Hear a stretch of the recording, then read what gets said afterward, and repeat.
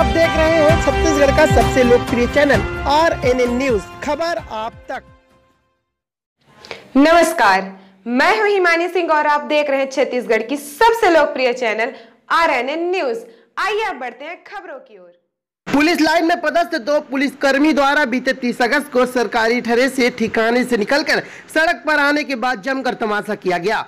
इस दौरान लोगों ने दोनों पुलिस जवानों का वीडियो व फ़ोटो शूट कर सोशल मीडिया पर वायरल कर दिया।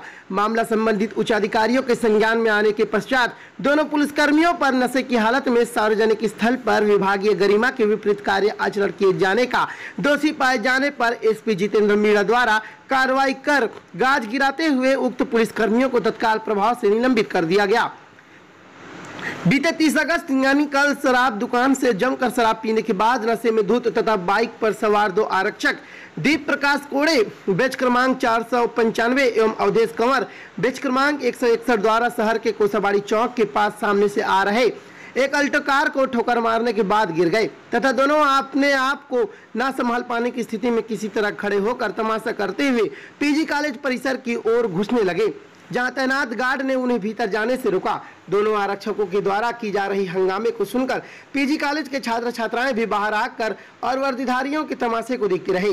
दोनों पुलिस के जवान इस कदर नशे में धुत थे की उनके कदम ठीक से आगे नहीं बढ़ पा रहे थे।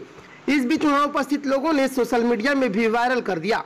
मामला पुलिस के आला अधिकारियों के संज्ञान में आने के बाद पुलिस अधीक्षक जितेंद्र मीणा द्वारा विभागीय गरिमा के विपरीत कार्य आचरण प्रदर्शित करने के कदाचरण का दोषी पाए जाने के मामले में दोनों आरक्षकों को तत्काल प्रभाव से निलंबित करते हुए उन्हें पुनः रक्षित केंद्र में अटैच कर दिया गया। एसपी की इस कार्रवाई से ड्यूटी के दौरान शराब के शौकीन कुछ अन्य पुलिसकर्मियों में भी घिघी बन गई है।